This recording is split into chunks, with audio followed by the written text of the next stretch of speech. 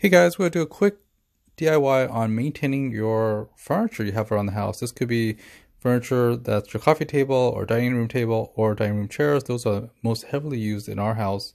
Uh, so basically we'll go over and tighten some screws and stuff. So we're going to do this coffee table as well as this dining table and the dining room chairs that get a lot of use when we have visitors or even our daily use.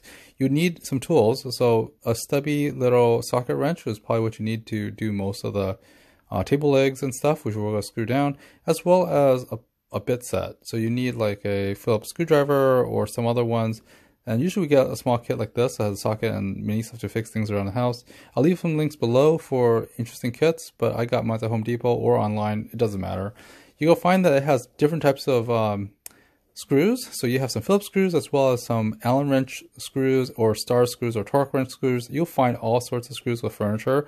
So that's why having a small kit like this has an array of um, bits is actually very useful. As well as an extender too, because if you get to the small parts, it's kind of hard. You have to remove covers. There's are there's screw covers that they have that to hide screw holes.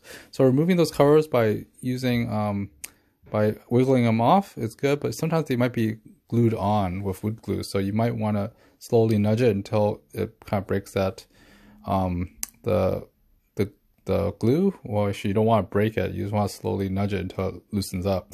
We normally don't glue our um, those hiding things, those uh, those screw covers, and just leave the dowels on there. Checking each of these uh, legs, all the legs are loose a little. So we'll go ahead and tighten all the all the screws and uh, nuts that attach the legs onto the table, as well as the nuts and screws that attach the table to the tabletop. So going through all probably like 20 of these screws, it'll tighten up and then it'll be nice and stable. So even if your cat walks over it, it's not going to swivel and move.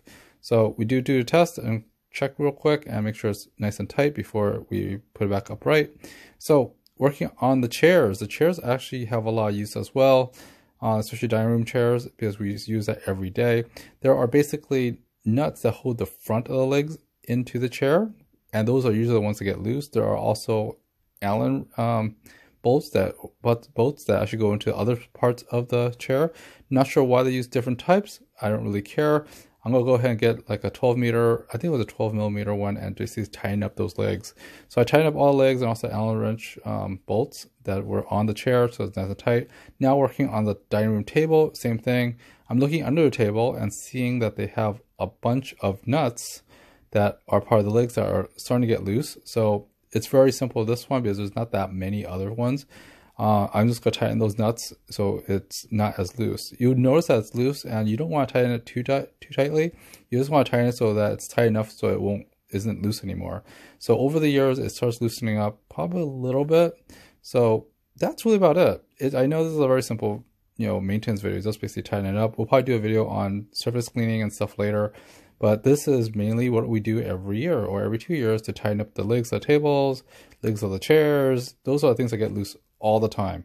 So anyways, please like, subscribe, hit the bell button for more interesting DIYs and stuff off of our off the Sterling W channel or Sterling Wong channel, um, or follow us on sterlingwong.com and also other uh, social media links. There's other DIYs available too. There's also some travel stuff too, but there's more videos to come because I do a lot of Costco finds and a lot of shopping. So stay tuned for more, guys. I'll see you next time. Thanks for watching and, you know, have a good one. Bye-bye.